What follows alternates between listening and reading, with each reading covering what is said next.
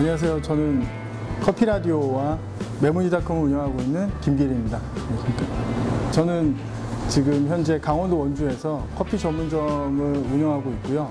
그리고 메모지닷컴이라고 하는 커피 플랫폼을 만들어서 그걸로 또 활동을 또 하고 있습니다. 저는 이제 뉴질랜드에서 처음 커피를 맛보고 나서 커피라는 문화가 이렇게 재미있을 수 있겠구나라는 걸 느끼고 이제 시작을 했는데 지금은 커피는 그 커피를 하는 분들 만나는 재미, 뭐 커피 업계가 재미있고 그런 걸로 이제 하는 것 같아요. 메모지닷컴을 더 중점적으로 이렇게 활동하면서 좀 저를 내려놓고 이렇게 다니다 보니까 너무 환영들 하시고 뭐 되게 재밌는 얘기도 많이 하게 되고 업계 소식도 서로 간에 이렇게 주고받고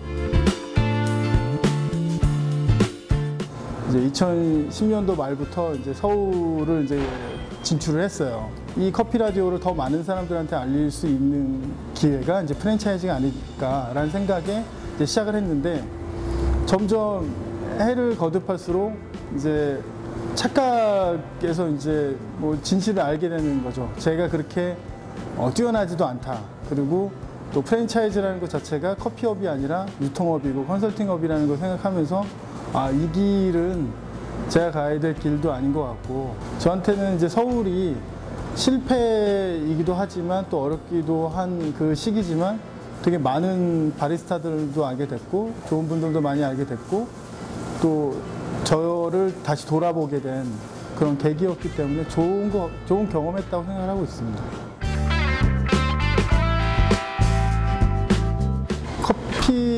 커피를 하시는 분들은 한테는 어, 좀 진지하게 했으면 하는 거는 있고요.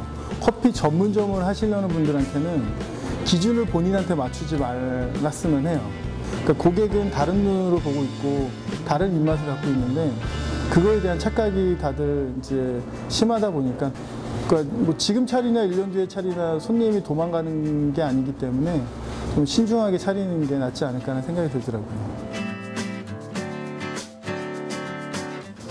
분명 미국이라든지 뭐 유럽이라든지 호주라든지 이런 나라들처럼 발전을 할 텐데 한국식 커피 문화가 뭔지를 모르겠어요, 저는.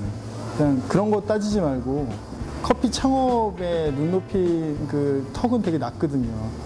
근데 커피 하시는 분들이 저도 그렇고 좀 착각을 많이 하고 있기도 해요. 그래서 좀 눈높이를 좀 많이, 많이 낮춰서 일반인들이 좋아하는 그리고 일반인들과 무언가를 같이 하기 위한 노력을 많이 하고 고객들과 많이 얘기하기 위한 통로를 좀 많이 만들었으면 하는 것도 있어요.